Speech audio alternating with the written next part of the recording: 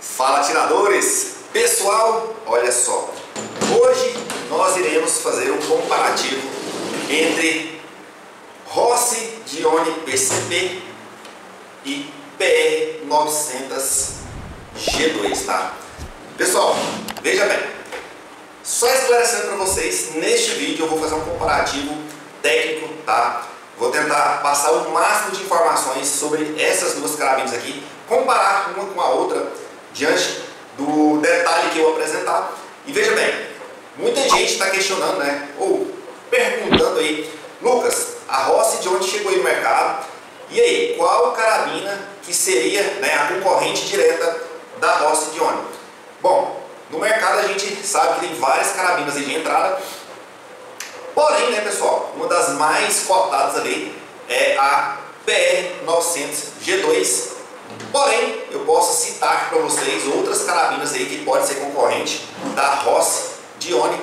Entre elas, pessoal, uma das concorrentes mais, eu acho que seria mais acirrada para essa carabina aqui, eu creio que é a Leviathan PSP, tá? Bom, por que, que eu falo que a Leviathan PSP é uma das mais concorrentes?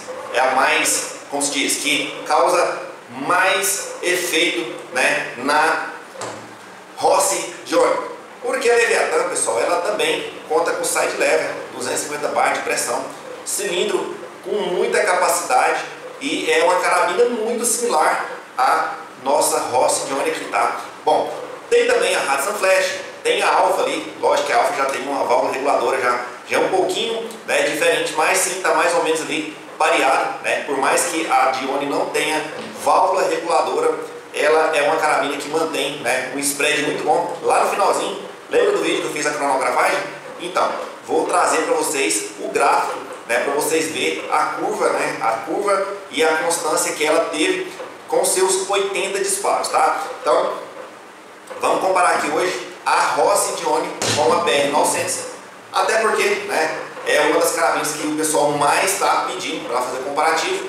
Ela também concorre também com a Bima, né, a sua irmã ali de importação, também concorre com a Gamo Aero e também outras carabinas de entrada, tá pessoal? B58, B57 é uma carabina concorrente de entrada, tá? Mas nesse vídeo vamos aí fazer com a BR900, tá? Vou trazer a câmera aqui para perto, espero que vocês entendam, isso aqui é um comparativo que eu trago detalhes técnicos, tá? Logicamente, eu tenho a minha, o meu parecer, né? Mas isso não deve levar em consideração na escolha de vocês, tá? É lógico que eu vou apresentar o que eu penso da forma correta e também apresentar detalhes aí, né, de cada uma. Isso aqui, pessoal, que eu vou apresentar são detalhes de experiências com essas carabinas, né? Não só pego a carabina, mostro aqui, ó, a carabina é isso aqui, tá, tá escrito aqui no manual e beleza. Não. Essa PR900 aqui, para quem não sabe, essa aqui é uma das minhas primeiras carabinas, tá? Eu tenho muita experiência com essa carabina, eu sei qual é a vantagem e a desvantagem dessa carabina detalhes por detalhes, como que funciona, desmontei essa carabina de ponta cabeça, quem acompanha o canal aí sabe que eu sempre pego uma carabina, eu começo, né, faço a avaliação de técnica, depois eu começo a utilizar, procuro o melhor desempenho dela, detalhe por detalhe, apresento para vocês, olha, o chumbo X é bom, ah, eu consegui uns disparos aí a distância X, a precisão dela é assim, a autonomia dela é tal, então assim, eu sempre mostro tudo que a carabina tem de verdade, tá? Então, vamos aqui, vamos mostrar aqui para vocês aqui agora detalhes dessas duas aqui e eu vou falar para vocês de verdade qual é o meu ponto de vista, tá, gente? Então é isso aí, bora! Rocinha Dione, danadinha, bonitinha, versus PR 900G2. Já saiu aqui, né, a proteção da luneta, mas vamos lá. Galera, primeiro ponto né, que eu quero destacar para vocês. A gente vai comparar detalhes por detalhes, mas aqui ó, vamos começar, né, então, pelo castelo, tá?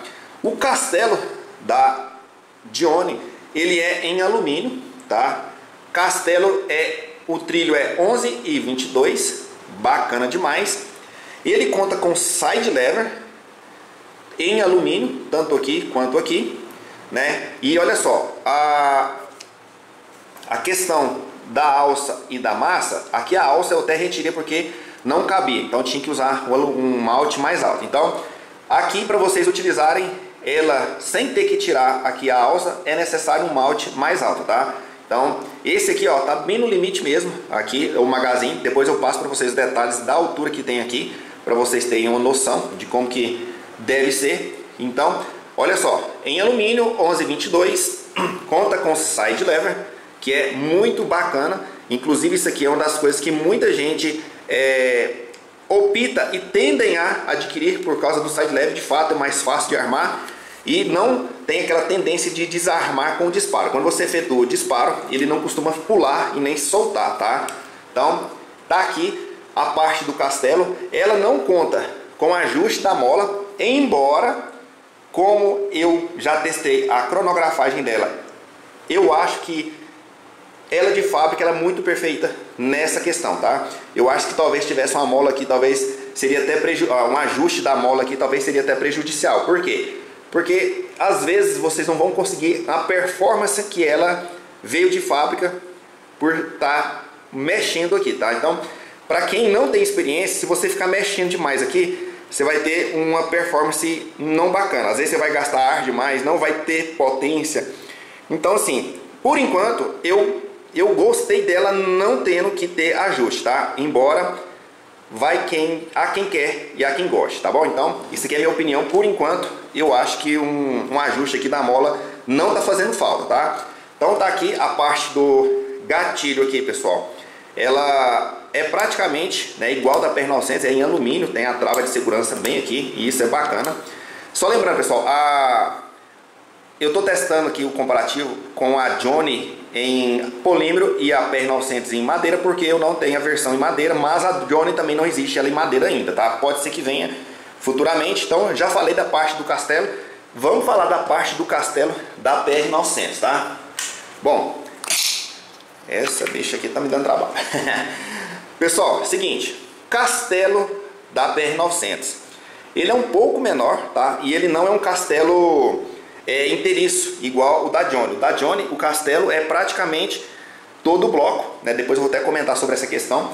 É, então ele é só um pedacinho aqui, ó, daqui para cima é o castelo e a parte de baixo, pessoal, já é, né, faz parte de um cilindro inteiriço. Daqui para frente fica, daqui para frente, ó, fica um ar, né, acumulado e daqui para trás já é a parte onde tem aqui, né, a disparadora. Aliás, a mola do martelo e o martelo também não conta com ajuste ela só conta com o trilho de 11 milímetros e não é Picatinny, igual o da Johnny, tá?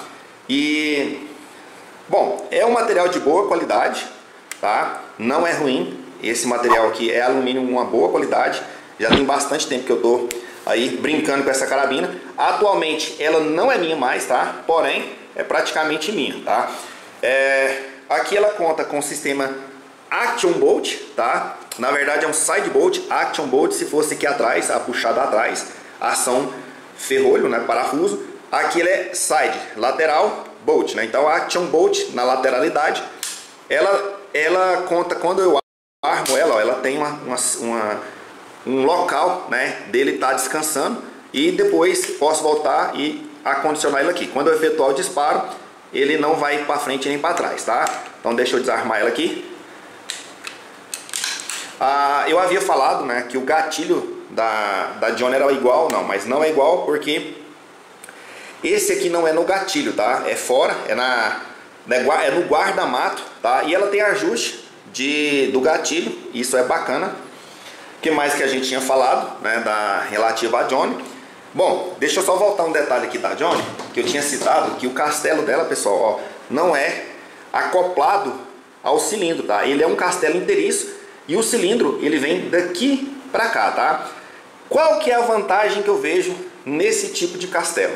Além da robustez né, que ele tem, você consegue aqui desacoplar o cilindro do castelo facilmente para uma futura instalação de uma válvula reguladora.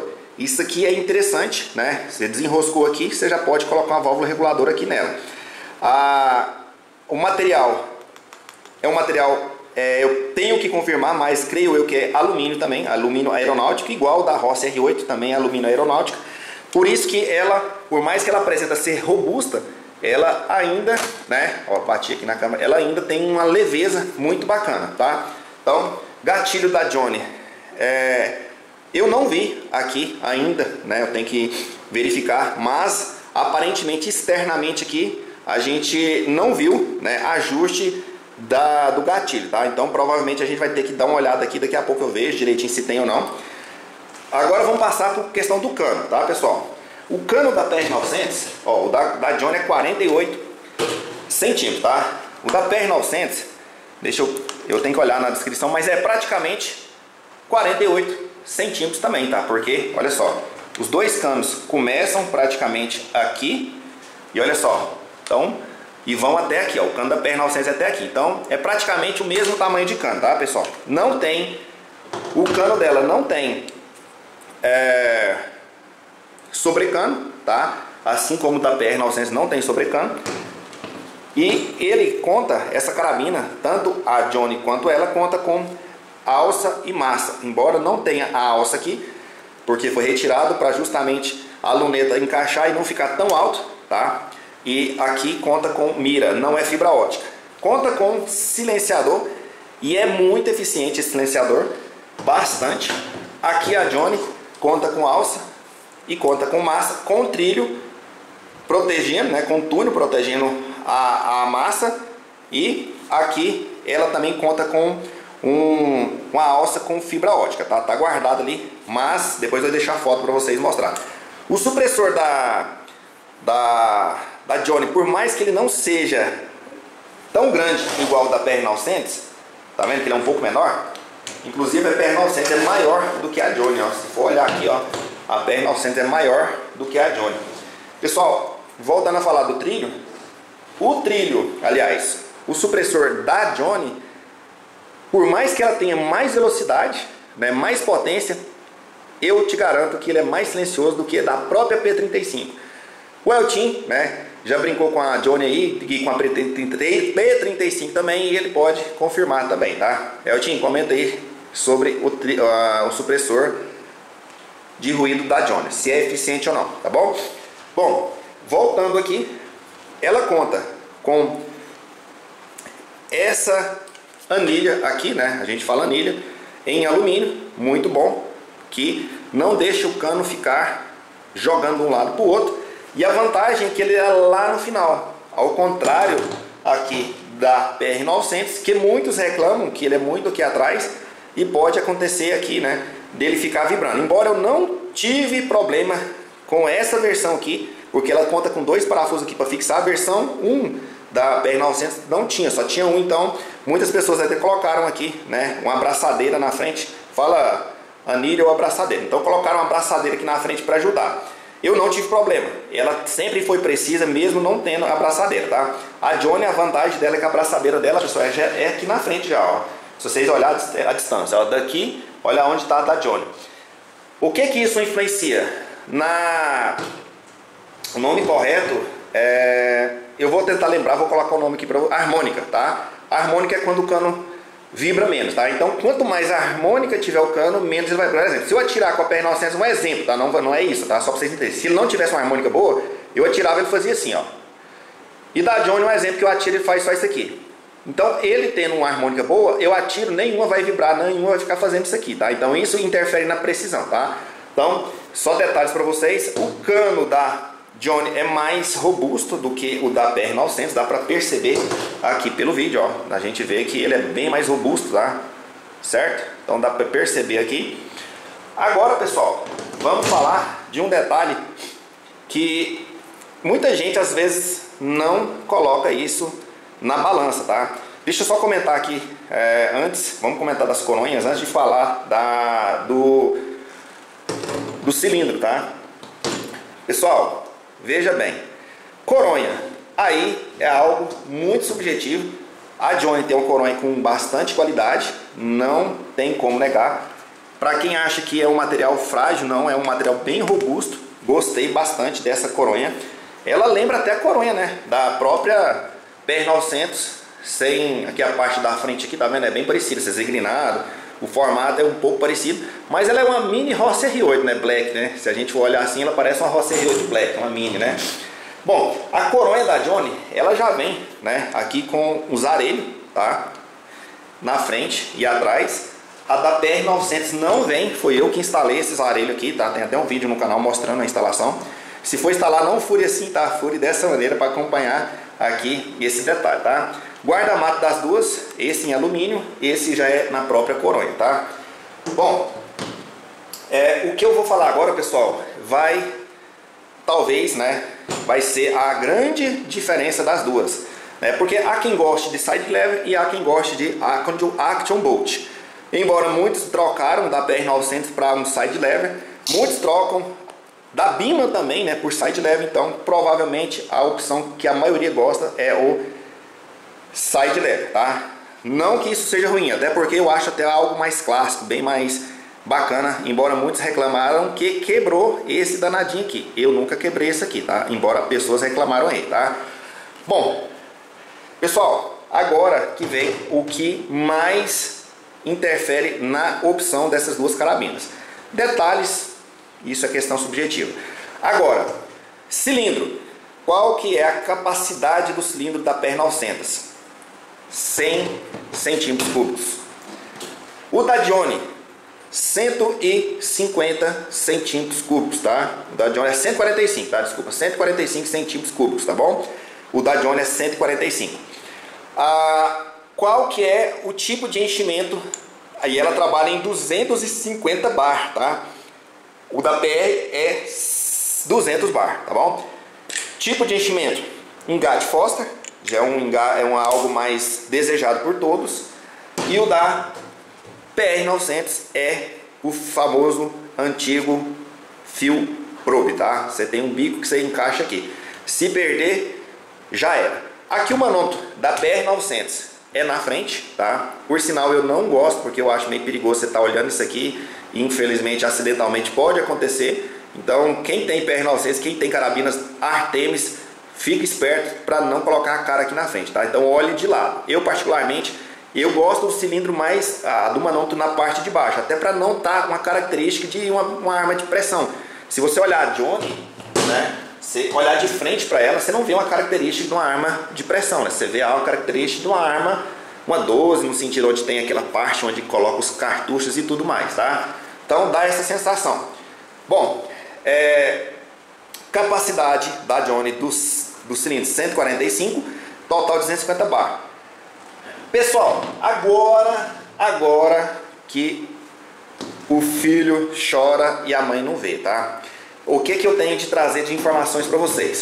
Já cronografei as duas, já testei as duas de precisão. Lucas, qual dessas duas é a mais precisa? As duas são precisas.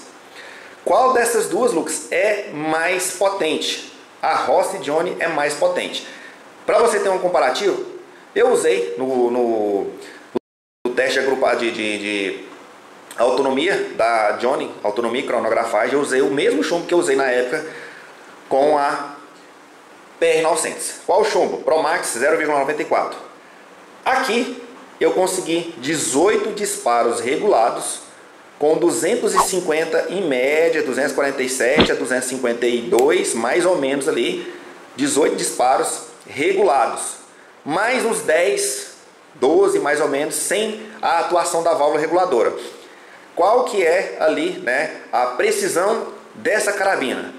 Precisão perfeita, tiro sem queda balística no ponto cerca de 45 a 50 metros você consegue. Depois disso você vai ter que fazer uma compensação, até porque a velocidade não é tão alta, né? Então exige, exige a compensação, tá? Beleza. Qual que é a energia que essa carabina consegue entregar? Cerca de 23 a 26 joules, tá? Mais ou menos assim.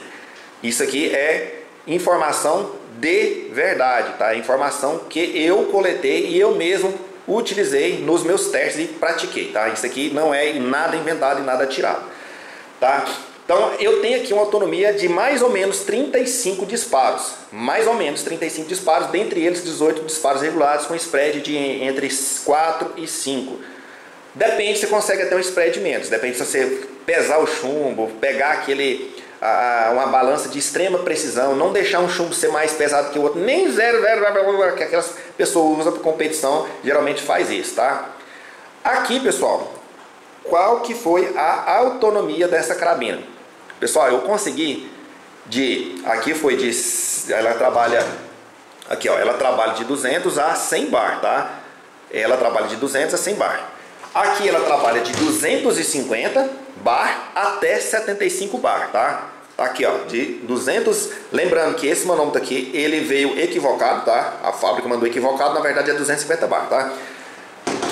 Pessoal, ela trabalha em média de 200, aliás, de 250 até 75, ela faz, fez 80 disparos. Desses 80 disparos, cerca de 30, 20 e alguma coisa, 28 a 27, cerca de 28 a 27, ele ficou com spread de praticamente o spread da PR900. Então, quer dizer, por mais que essa carabina não tenha válvula reguladora igual a PR900, ela manteve o mesmo spread com muito mais autonomia do que a PR900. Bom, e o que, que eu quero trazer de informação para você? Que a Johnny ela está superior à PR900 tanto na autonomia quanto na precisão em longas e maiores distâncias, porque a precisão curta distância não tem comparação, as duas são idênticas, tá? Muito bem preciso, lembrando que vai depender do atirador, vai depender da escolha do chumbo, vai depender de muitos fatores, mas não depende só da carabina, tá?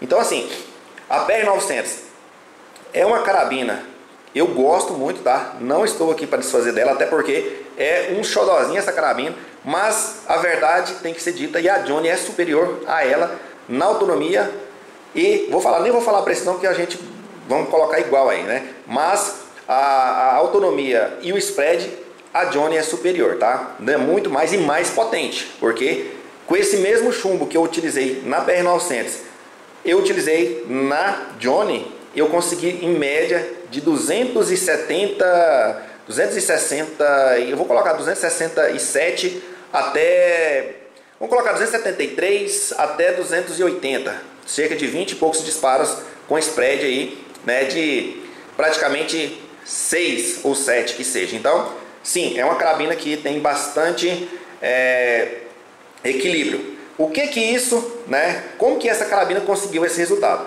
Pessoal, essa carabina já tem bastante tempo que ela está sendo estudada aí, né? A gente sabe que ela é uma carabina que precisou né, de quase dois anos para ela chegar no mercado. Então, entre várias situações, essa carabina ela foi reprojetada, justamente para ela não necessitar de uma válvula reguladora. Porém, ela foi limitada ao ajuste da mola justamente para não alguém não interferir no ajuste que vem de fábrica o cálculo da pressão da mola, o cálculo da abertura da disparadora, o tamanho da abertura da disparadora, a grossura do pino da disparadora foi praticamente estudado e colocado em prática justamente para manter um spread de ótima, de ótima qualidade.